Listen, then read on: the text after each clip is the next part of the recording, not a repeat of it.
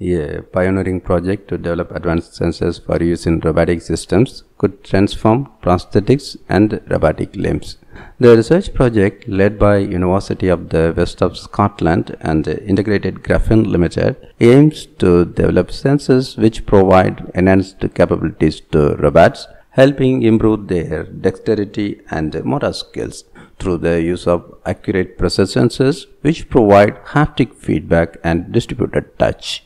The researcher says that over recent years, the advancements in the robotics industry have been remarkable.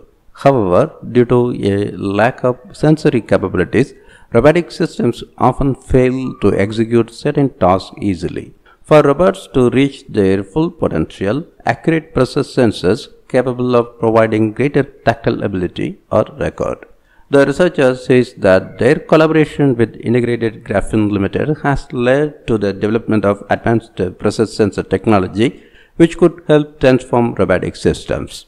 Made from 3D graphene foam which offers unique capabilities when put under mechanical stress, the sensors use a piezo-resistive approach, meaning when the material is put under pressure, it dynamically changes its electric resistance, easily detecting and adapting to the range of pressure record from light to heavy.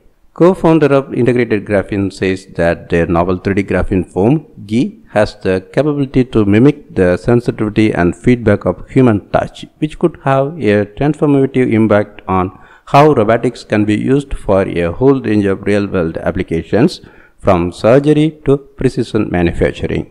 Within robotics and wearable electronics, the use of pressure sensors is a vital element to provide either an information input system or to give robotic systems human-like motor skills. An advanced material like 3D graphene foam offers excellent potential for use in such applications due to its outstanding electrical, mechanical and chemical properties. The next stage of the project will look to further increase sensitivity of the sensors before developing for wider use in robotic systems.